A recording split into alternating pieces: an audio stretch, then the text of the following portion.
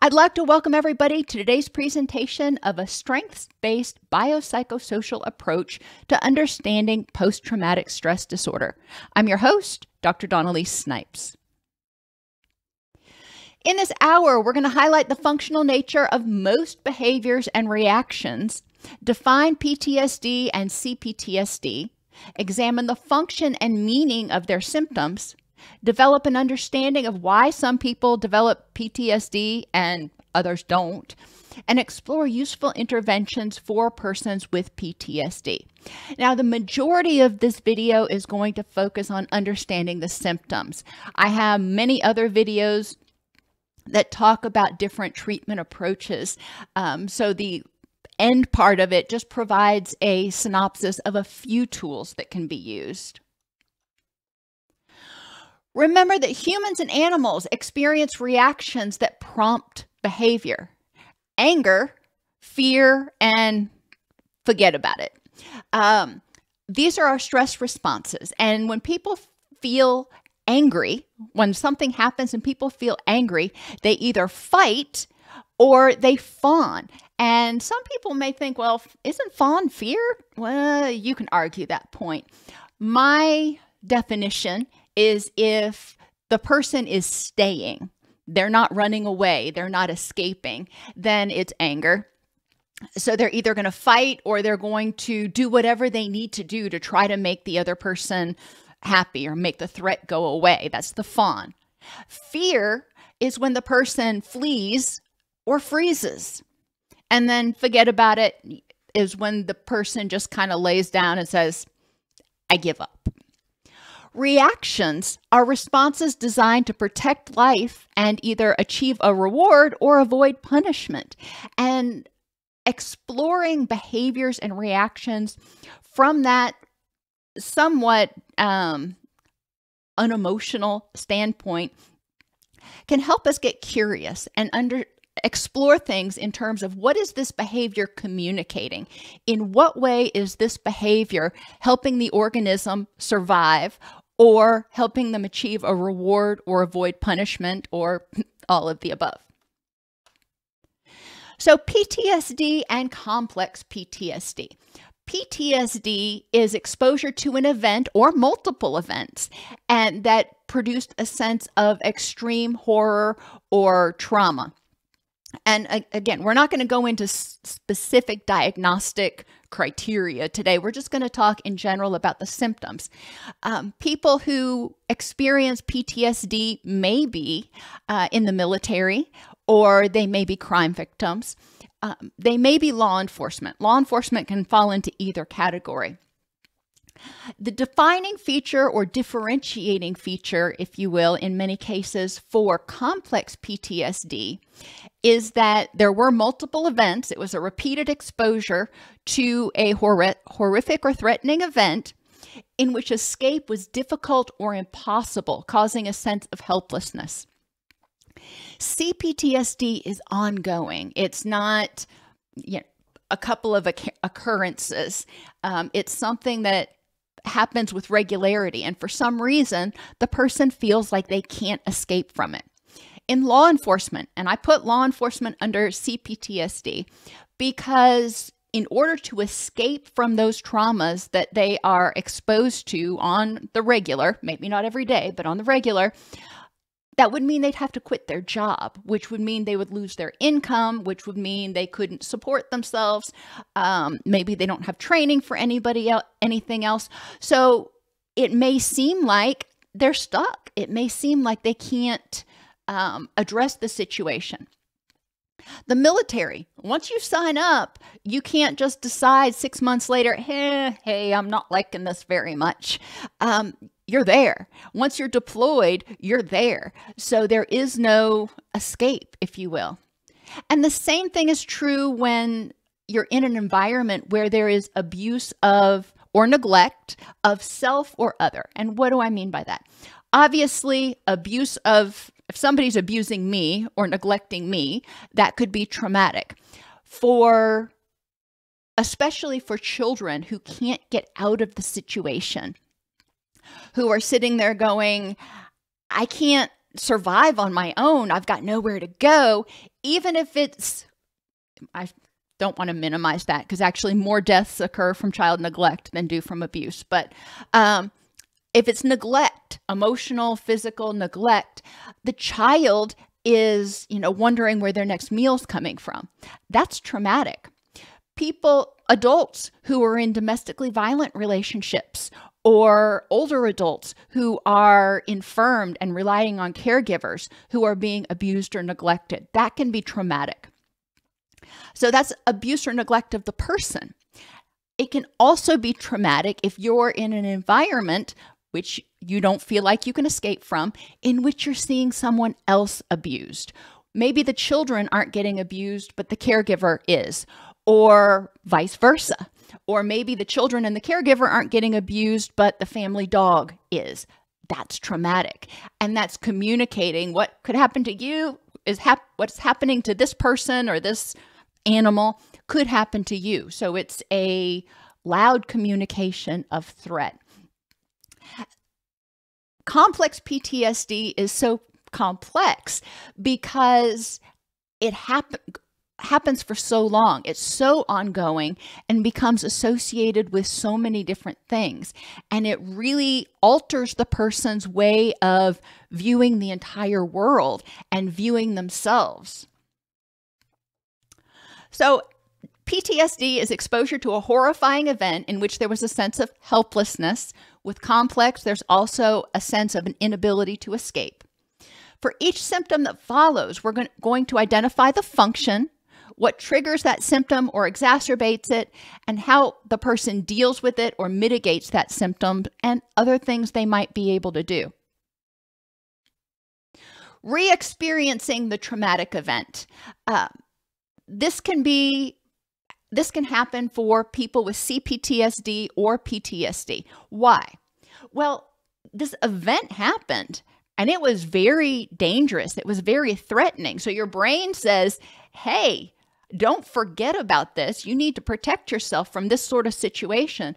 So the brain kind of hones in on that and says, be aware for next time, be on alert. Like if you're out hiking and you step on a poisonous snake and you get bit, that's traumatic.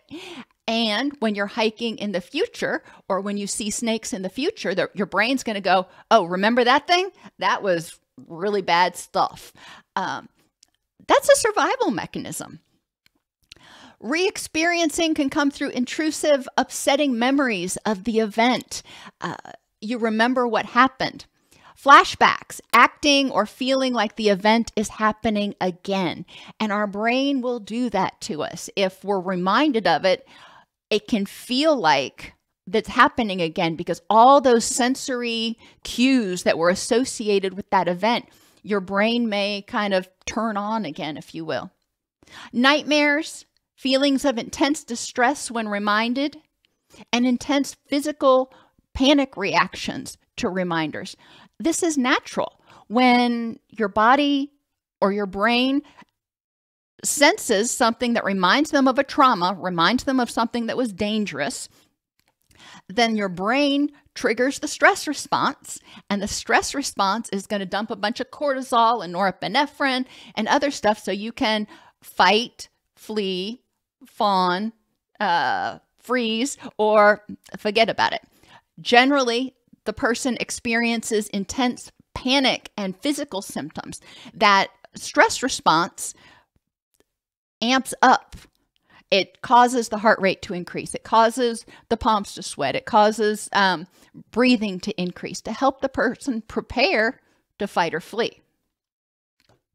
So, physical symptoms that we see difficulty falling or staying asleep. So, let's think about this if you've been in an environment or in a situation that was dangerous and now you're trying to fall asleep, when we're asleep, we are vulnerable depending on the person. Example, if you um, were in an environment where it was regularly unsafe because of abuse or neglect, especially abuse, um, the person you may have difficulty falling or staying asleep because you never know when that threat is going to appear. If for example, you were the survivor of a tornado or a hurricane that was devastating to your area. You may be able to fall or stay asleep a lot of the time, but if it's raining outside or if it's forecast to rain outside, it may be more difficult. If the tragedy, the tornado happened while you were sleeping, it may be more difficult to fall or stay asleep, even if rain's not forecast, because maybe you didn't know it was going to rain and then you woke up and your roof was gone. That's traumatic. That is extremely traumatic. The person may experience irritability or outbursts of anger.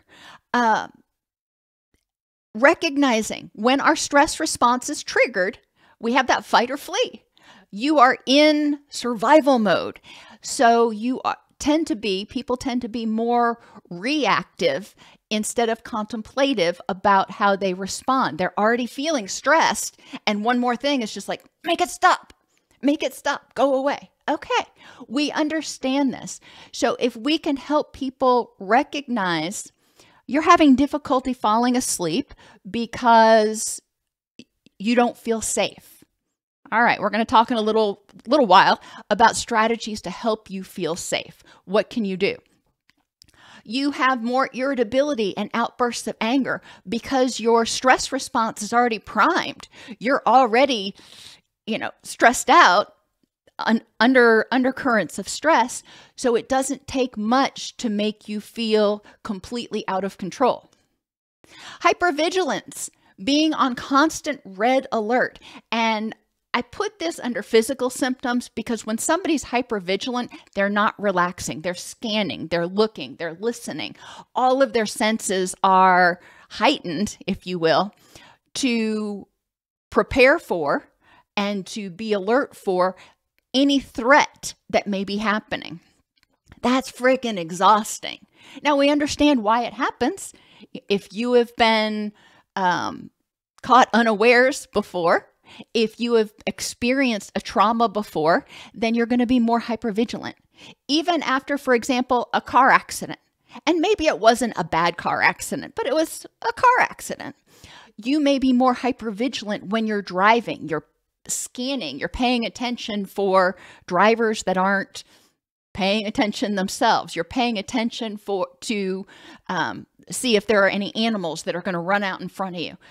You're a little more hypervigilant. After you start feeling safer driving, you have more experiences where nothing bad happens. You probably will become less hypervigilant. You'll become you'll still be vigilant, but not hyper vigilant.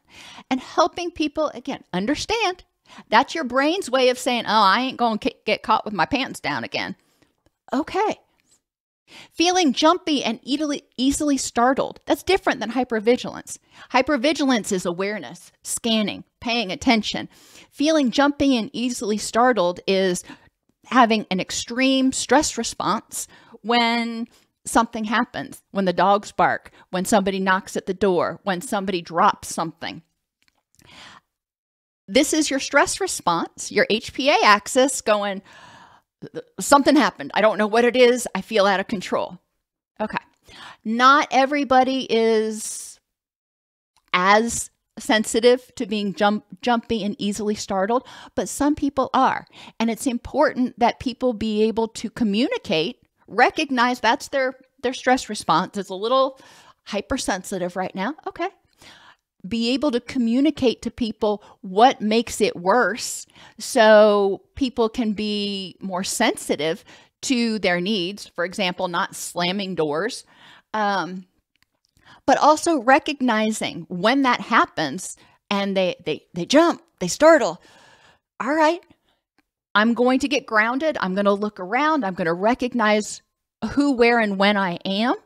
And I am going to uh, just let that go. Instead of getting angry about it, instead of dwelling on it, it is what it is. I still do that. Um, somebody will drop something that's, that's really loud, or the dogs will bark all of a sudden crazy for no apparent reason. And I will startle and I you know, may say something about it, but then I recognize I'm at home. I'm safe. It's all good. And I can calm myself back down. I can use my distress tolerance and my down regulation down regulation tools. Fatigue. Oh, if you can't sleep, you're irritable all the time, you're constantly scanning, and you're constantly tense and prepared to spring into action, yeah, you're going to be friggin' exhausted. Makes sense. Totally makes sense. In order to address that fatigue, the person is going to have to get to a place where they can feel safe, where they can feel empowered. And the core of trauma, complex or otherwise, is feeling unsafe and disempowered. Somatic complaints. Some people are less emotional and they tend to use um, to use an analogy, swallow their emotions. They may feel more pain because their muscles are tense so much. And you know how your muscles can get achy, things can get out of alignment, and you can feel more pain. If you're not getting enough sleep, if your HPA axis, that stress response, is overactive, it can lead to dysregulation of that system, which can lead to increased uh, inflammation. Stress, no matter where it comes from, causes changes in our gut microbiome. So people may start experiencing gastrointestinal problems. Any of these can be traced back to potentially a trauma. Now, you may be scratching your head going, well, how do I know if they've got the flu or if they've got trauma? When did the symptoms start and how long have they been going on? If the trauma occurred six months ago and they just started developing stomach pain, may be related, but may be related to other stressors or something physical. Um, if the somatic complaint started shortly after the trauma, you can be pretty certain that it's related. Uh, and in order to address those somatic complaints, it's important for the person to understand why do I have these this pain? Why do I have these aches? Why do I have this, you know, GI upset? Well, let's look at how stress impacts the body. Let's look at how you feeling unsafe and powerless impacts the body and why. When we are stressed, our body says it's time to fight or flee, not rest and digest. You got to choose, which is why you're not supposed to go exercise shortly after eating because your body can't exercise and rest and digest at the same time. So, your somatic complaints like GI distress is going to be partly because that stress response is hyperactive. As that tones down, some of that other stuff may come back into alignment. Now, that doesn't mean we're going to diagnose that. We can help people understand where it might be coming from, but obviously refer for a physical as always. And then addictive behaviors. And I know they're behaviors, but where do you stick this?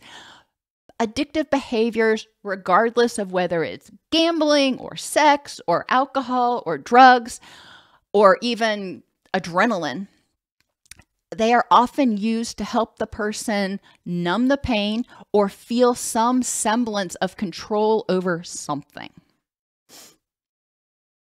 Interpersonal symptoms of trauma persistent difficulties in sustaining relationships and in feeling close to others.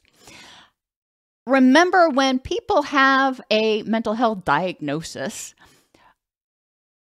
it's rare that somebody has every single symptom, and people don't have to have all the same symptoms. If your trauma was interpersonal in nature, then yeah, you may have difficulties in sustaining relationships because other people are perceived as a threat. If you develop PTSD or CPTSD and the people around you don't get it and they're invalidating, then it may have you may have difficulty feeling understood and accepted and supported, which leads to difficulties in sustaining those relationships. There may be a lack of interest in relationships and social engagement, especially if the trauma was uh, interpersonal being around people means that there's a an increased chance of threat. So you're already exhausted. Why do you really want to subject yourself to that?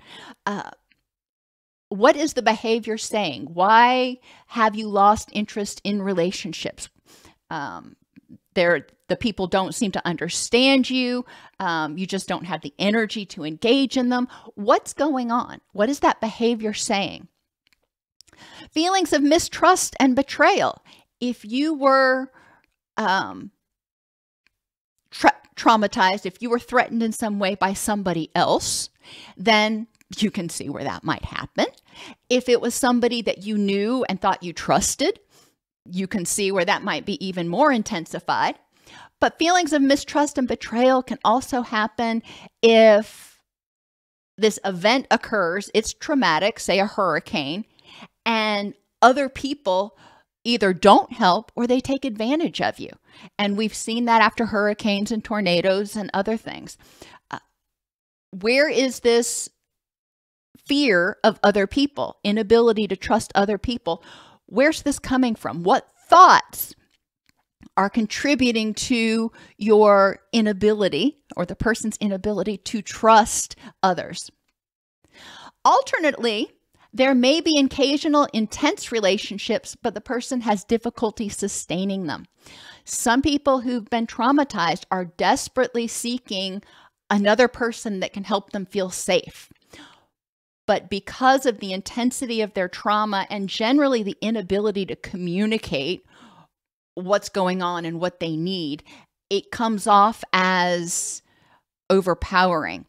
If the original trauma was interpersonal, then you may see the vacillation between all good and all bad. I can trust you. I need you. You help me feel safe. The minute I start to sense something is off or troublesome, I hate you. And you know, that that is one of those key features that we associate with borderline personality.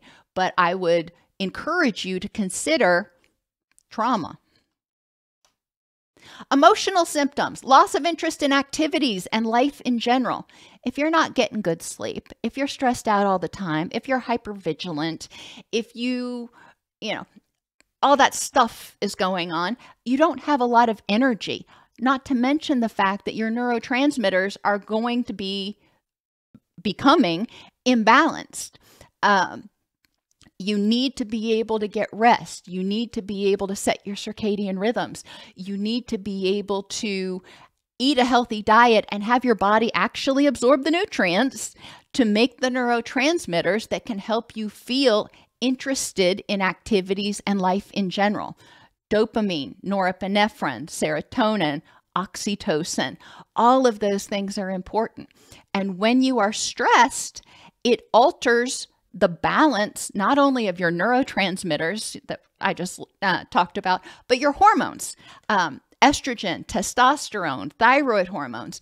So people might start feeling very flat and blah, feeling detached from others or emotionally numb.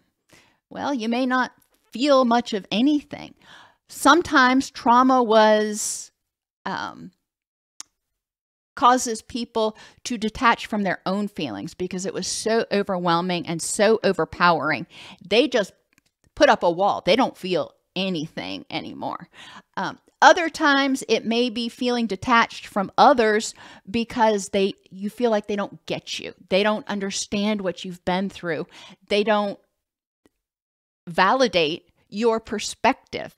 And a lot of times even well meaning therapists and doctors and loved ones may inadvertently invalidate people by trying to tell them either it's not that bad or trying to take their trauma and take their pain away. It's theirs. Let them have it. If they feel um, betrayed by people, okay. You know, when you're ready to work on that, when you're ready to, to look at it, I'm here to talk. But if you feel betrayed, far be it from me to tell you that you're wrong. People experience reality through the lens of their prior experiences, and we need to recognize that. A sense of a limited future, especially if the trauma was painful, or physically threatening. Persistent problems with affect regulation and dysregulation. This goes back to that dysregulation of the stress response, the HPA axis. When the HPA axis is on for too long, the receptors become resistant to the uh, cortisol. They become glucocorticoid resistant, which means the person is is not going to feel energized, excited. They're going to feel flat a lot of the time. But when they finally do experience a threat of some some sort, it's going to be intense because the brain has to secrete a tsunami of stress hormones just to get the receptors to wake up and pay attention. So the person goes from flat to furious or flat to frantic. That's exhausting. People who've experienced trauma also deal with anger, shame, sadness, humiliation, guilt, and sometimes survivor guilt. How a person interprets and feels about a trauma is very individualized.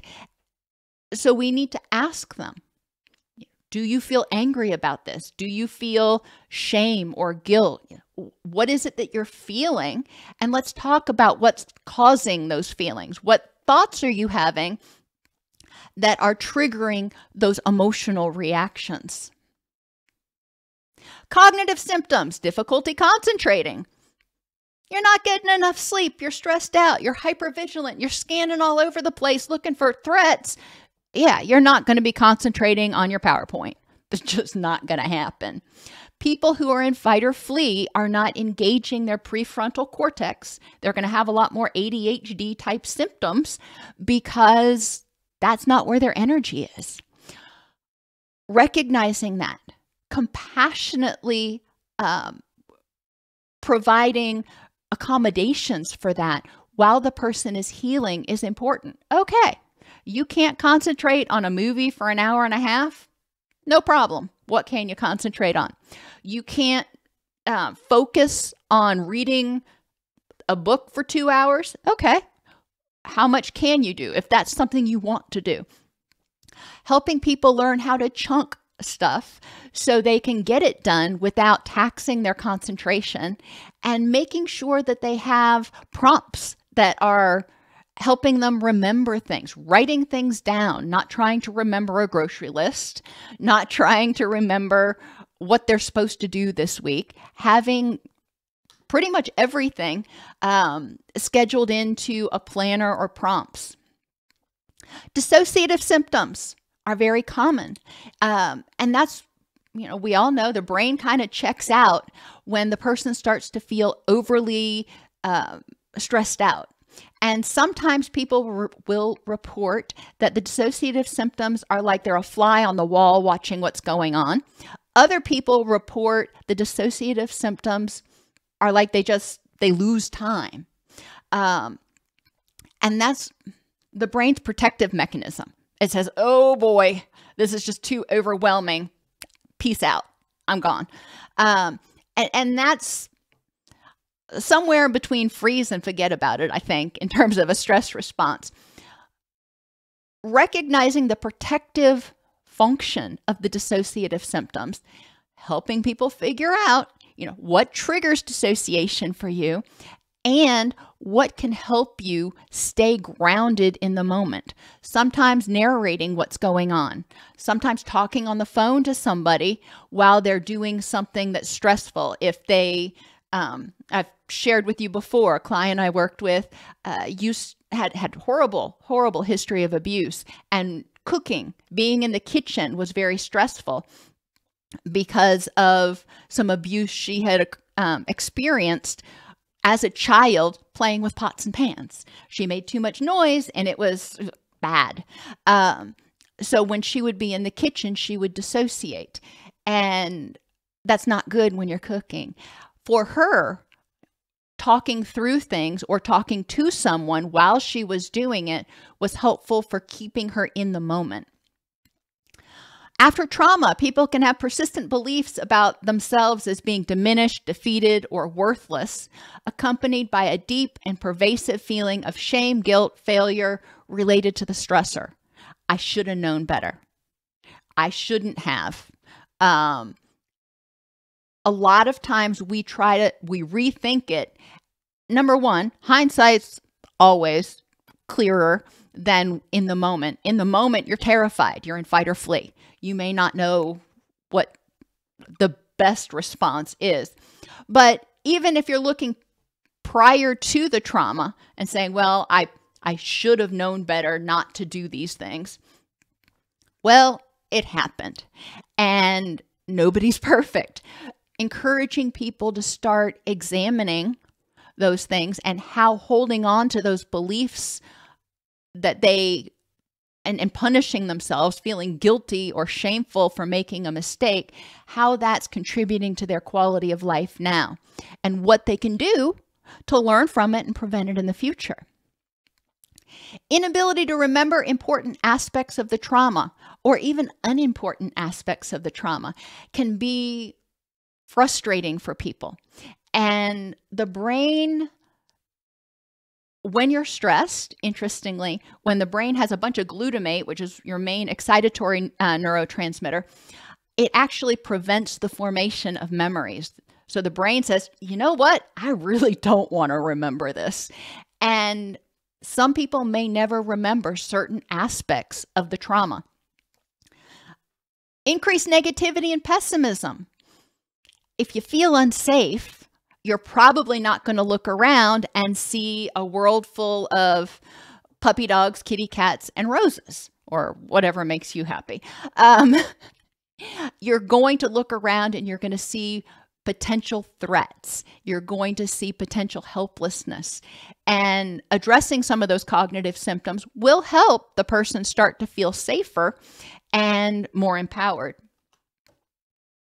Environmental symptoms deliberate avoidance of reminders of the trauma. If you experienced a trauma when you were driving, then deliberately avoiding driving. I, am not getting in a car again, or I'm not getting in an airplane again, or, or whatever it is. Okay. If, you know, sometimes you can't avoid reminders of the trauma. Um, but if you were a survivor of a tornado, um, deliberately avoiding watching um, television shows about tornadoes probably is in your best interest. But recognizing that, and sometimes it's healthy. You can avoid watching a show about a tornado and it's not going to have significant impact on your life. If you were in a bank when it was held up and now you avoid going into banks and oh by the way a bank is kind of like a store. There's lots of people I don't know, lots of uncontrolled variables. Then you start not wanting to go into any public places. Okay, that's a problem. And helping the person develop tools to deal with that.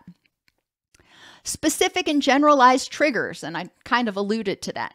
Specific triggers are those that are associated with the trauma. It was nighttime, it was a parking garage, you were um, held up, your purse was stolen, um, whatever. So there are very specific triggers. However, there can these triggers can become generalized. Maybe you are in um, a parking lot at night and you start to feel anxious. Well, it's similar. It's night, there's a car involved now parking lots as well as parking structures are threatening to you. So you can see how these things can generalize. If they have some characteristics that are similar to the original trauma, then that trauma, those trauma reactions, those trauma feelings or perception of threat becomes associated with those similar situations. And very quickly, a person can have difficulty going anywhere without being reminded, triggered, um, reminded of their trauma. So, triage. Pynoos and Nader did some work.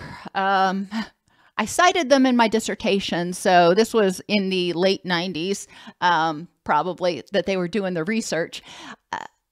That indicated there are certain things that make people more likely to develop post traumatic stress disorder. After a trauma, most people process it okay, thank you very much, and go through a process that we call traumatic growth. It doesn't become traumatic stress disorder. But for some people, they get stuck feeling helpless and disempowered and unsafe. So what may cause that? Well, if you're if you are the victim, all right, you're going to be more likely to develop PTSD than if you observed somebody else who was a victim. Uh, or if you're similar to the victim. And I see this a lot in law enforcement where responders will go to a uh, a scene maybe it's a, a child drowning and they've got children and they can even though it's not their child in the pool they can see sort of their mind says it this could be your kid and it's more traumatic it sticks with them harder than people who maybe didn't have kids. So, similarity to the victim also makes people more prone to getting stuck. Proximity to your safe zones. These are places where prior to the trauma you felt safe. Your home, your your immediate neighborhood, your work, the immediate area around there, hopefully, generally we feel safe in those areas. Um, when I was in college, we had, uh, sadly enough, a serial killer that plagued the uh, city of Gainesville for a while.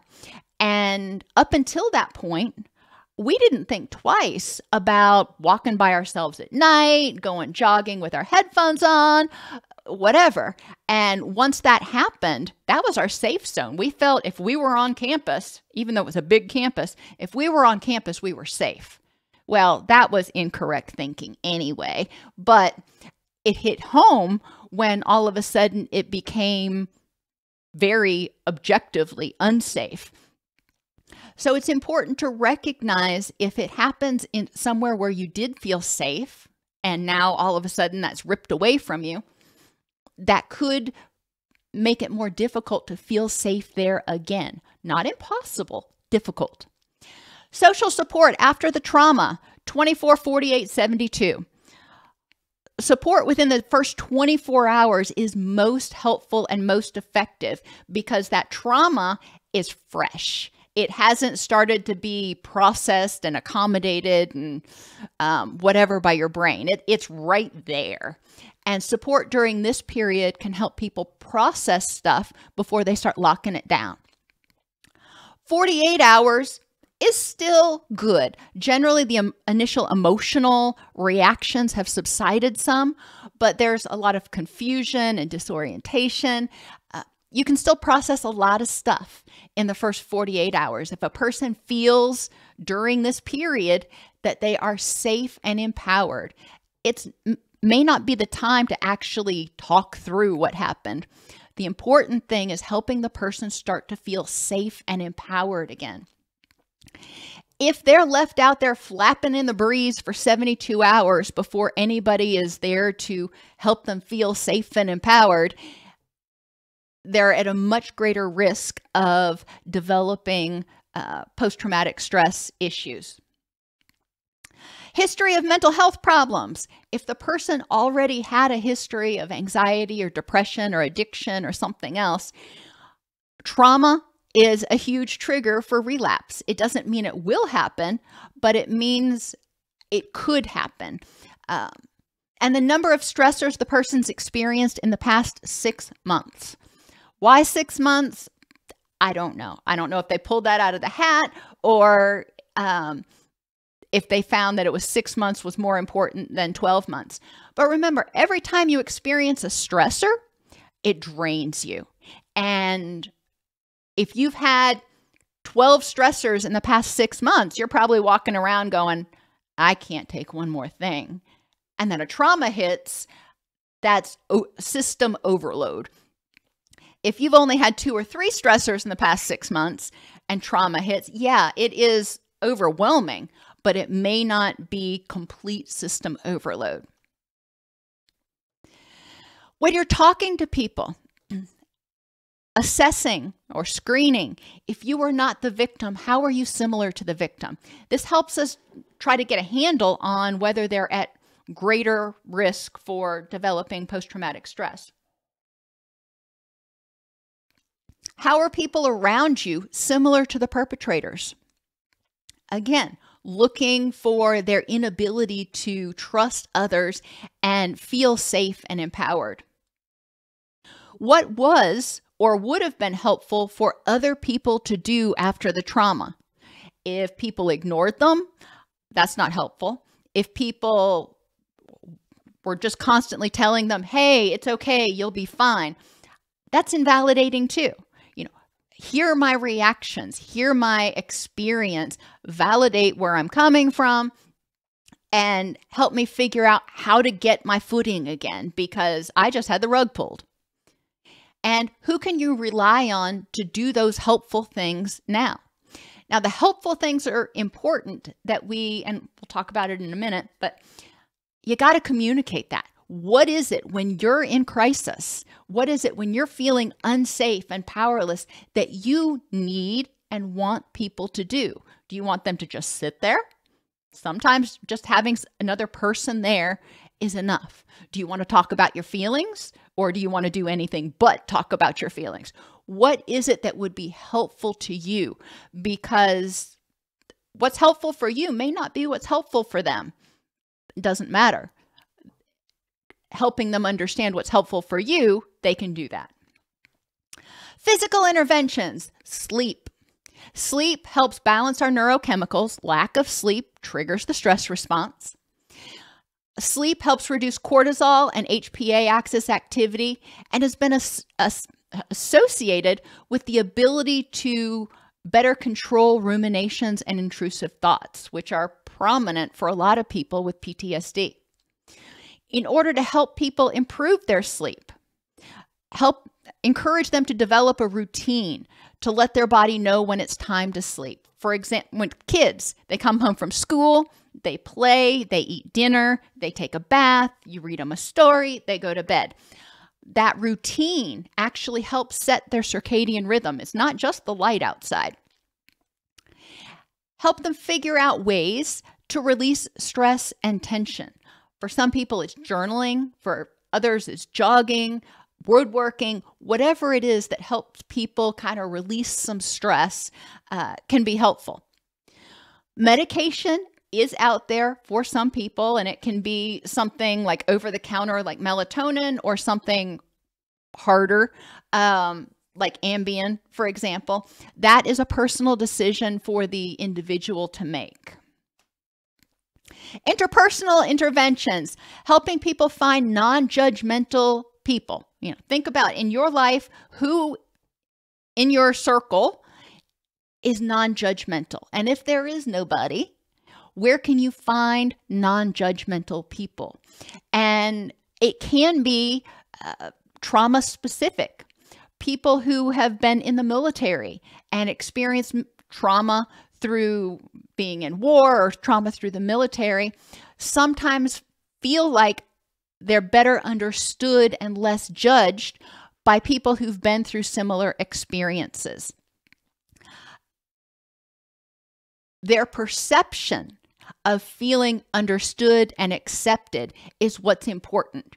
Even if you haven't been through it and you are the most non judgmental person in the world, if they don't feel that way, if they don't expect it or perceive it, then saying, "Well, you can talk to me. Why don't you just talk to me?" That's that's invalidating. So we need to help them a place where find a place where they feel accepted and understood. Ideally, finding support that's available 24/7. That's one of the beauties of the internet is people can find a chat room if nothing else pretty much any time of the day but helping them find healthy message boards and chat rooms that they can access, helping them put um, either icons on their mobile device or bookmarks on their um, on their browser so they can easily find it. Helping them find people that they perceive as empathetic, understanding, willing to take their perspective, and able to handle it. A lot of people who've experienced trauma are reticent to share their experience and their feelings because they're afraid they're going to either scare or overwhelm the person they're telling. And that's true even for therapists. I've worked with a lot of people who have been very cautious starting to tell me about their trauma even though they wanted to tell me because they were like ah, i don't know if if she can handle it. I'm like bring it on you know? Um, if you're a therapist reassuring people that you can handle what's going on you're not going to be overwhelmed by whatever they have to tell you can be really important. Same thing if you're a parent and your child has been um, traumatized. Surrounding yourself with people who are open to learning what you need to help you. And I already touched on that a lot. If somebody is trying to be supportive, but they're going to do it their way, they're going to fix it for you, or they're going to tell you that you need to talk about your feelings. They're telling you what they think you need. That's not helpful. Being surrounded by people who are willing to say, What is it that you need? and let me help you. That's what's um, going to be most helpful. And that will help the person feel more empowered and safer because they've got people listening to them. We need to encourage them to use these interpersonal relationships to help them meet their health and safety safety needs. You know, getting groceries, eating healthfully, you know, whatever, and handling the details.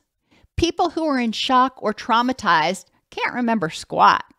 So, helping them figure out what they need to do for prompts and writing things down, notes on the refrigerator, um, if they've got like an Alexa or whatever that they can tell when to add stuff to a list. I don't have one of those. I don't know how it works, but um, some some more techie people may have that.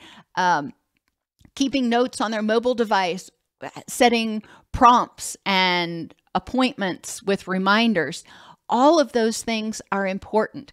Not expecting themselves to remember something because then when they don't remember it, they're going to feel bad and, you know. Emotional interventions. Another mnemonic, you know, I love my mnemonics, idea.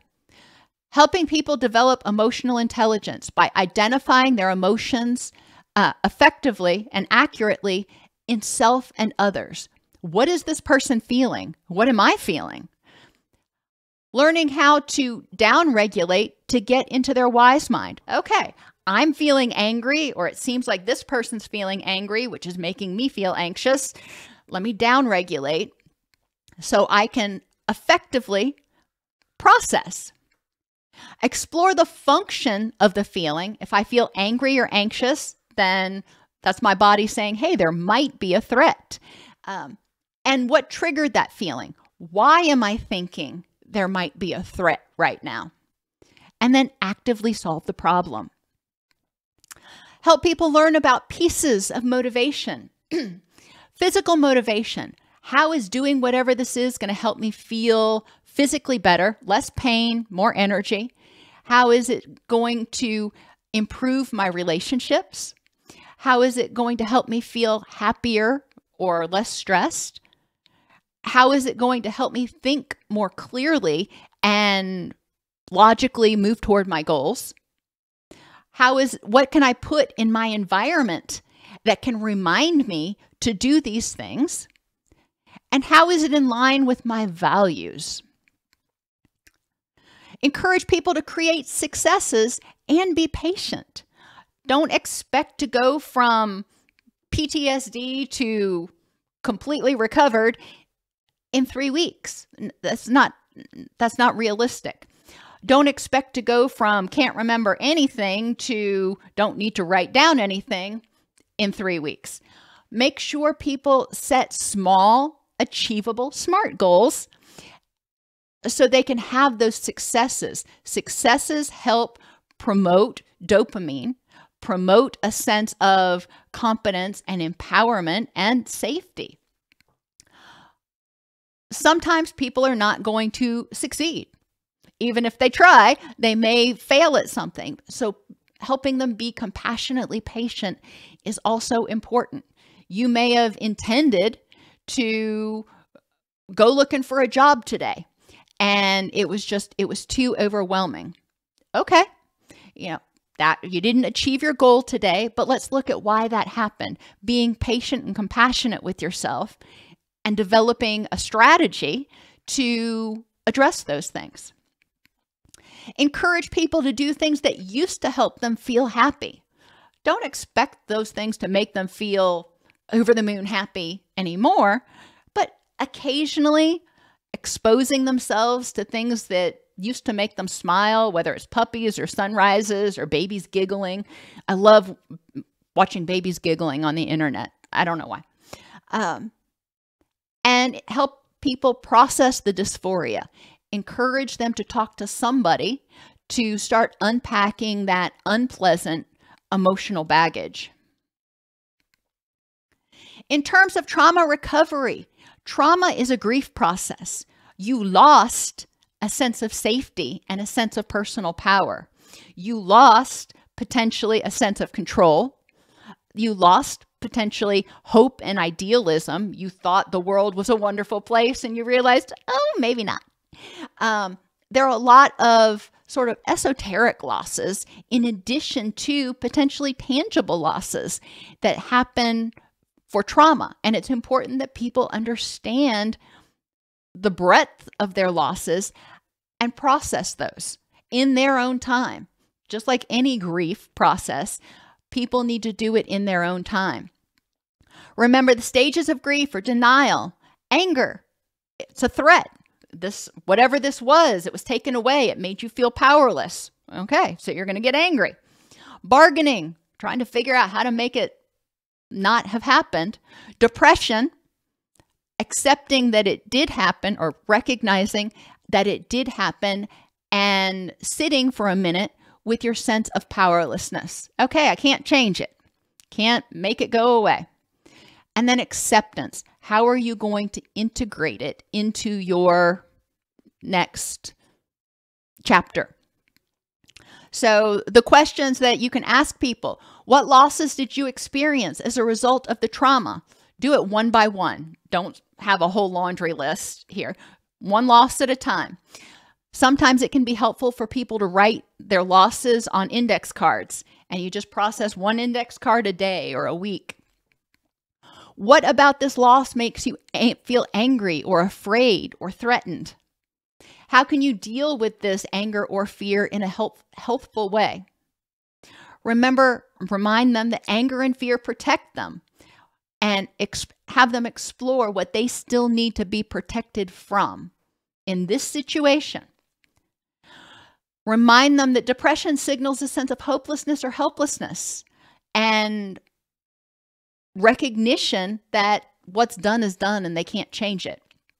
Therefore, you know, once they've sat with those feelings for a, a, bit, they've developed a sense of safety and power that's helped them move out of the threat zone. They've sat with that depression for a minute, accepted that the loss occurred.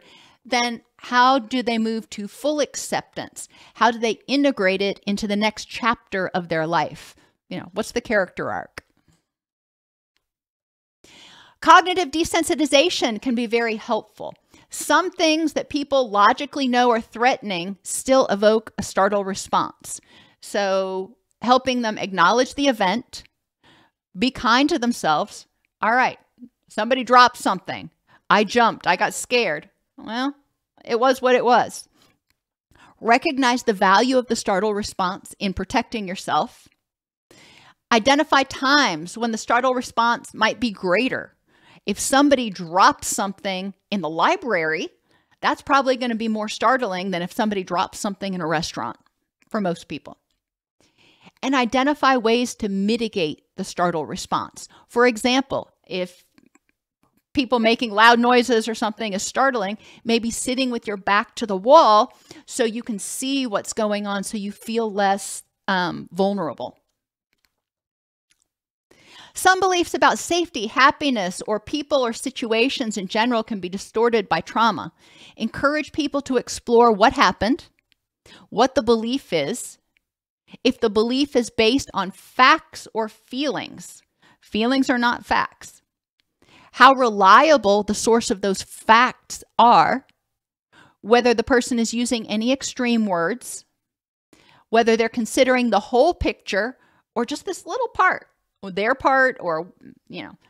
Um, in what ways does holding on to the belief protect them?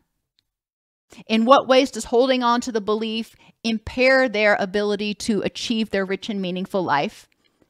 And how can they best use their energy to move forward? This is part of cognitive processing therapy which can be very helpful with ptsd in terms of cognitive errors overgeneralization encourage people to find exceptions and change their language instead of always or never and or all or nothing sometimes a few. The control fallacy encourage them to examine the facts in context. If they think i could have controlled it. Is that true? What are the facts in context? If this happened when you were a child could you have controlled it if it happened now maybe you could but as a six year old, you couldn't. Or maybe the situation, no matter how old you were, was uncontrollable. Or the belief that they can change it. If I would have only blah, um, then this wouldn't have happened. How do you know that? All or nothing thinking. Encourage people to examine the facts, find exceptions, and again, change their language. Catastrophizing expecting the worst possible scenario or seeing the worst possible aspects. Encourage people to look at all the facts and then the probability. If you're catastrophizing that every time we have a, a, a thunderstorm, there's going to be a tornado, that's catastrophic thinking. Um, or every time that there's a bad storm, there's going to be a tornado and the house is going to be destroyed. What are the facts for and against that belief? and what is the probability that that's actually going to happen based on those facts. Personalization means taking taking it personally. It's my fault or this had to do with me. Unhooking the behavior or the experience from the person can be helpful and encouraging them to look for alternate explanations. Why did this happen other than it's your fault? Or um, what are some alternate explanations? And then mind reading. I should have anticipated this person was going to do this. No, none of us can read minds. Is that, um, can you give me examples of when anybody is successful 100% of the time at mind reading? Environmentally, encourage people to address triggers in their environment like sounds, smells, and sights that may cause them to remember the trauma, get rid of things that are excessively triggering, and add sounds, smells, and sights that help them feel safe and empowered. Feng Shui has a lot of great tools for reducing stress because we tend to be more stressed if we can't see around us if we can't see someone who might sneak up on us. So it talks about adding mirrors and it talks about doing different things that may help reduce stress from a practical standpoint. Anchoring is also important. So when you awaken, you can stay in or get in the present moment. Being able to easily turn lights on with a, you know, a tap thing or having a safety item with you like a light um, a flashlight, or for a lot of people, a dog. A dog can help them actually feel grounded and feel safe and sometimes able, able to relax so they can get to sleep. In terms of creating safety, help people reflect on what they've done that helps them feel safe, what they can do to take back their safe zones, their home and their work, how they can protect themselves from trauma in general in the future, Encourage them to reflect on how the experience changed how they view things, what's important to them, and how they're going to live their life now. Encourage them to brainstorm different ways to create safety at home, at night, in the car, at their office. And again, any of those safe zones is important. Trauma can occur from a single event or multiple ongoing stressors. Traumatic events can change people's beliefs about the world in a very extreme way. For some people, understanding the functions of symptoms can help them desensitize. So when they start to feel something, they're able to say, okay, this is just a feeling, and I'm actually not in danger right now. Can help them modify their beliefs and make positive, mindful choices. Thank you, everybody, for being here today, and I'll see you next week.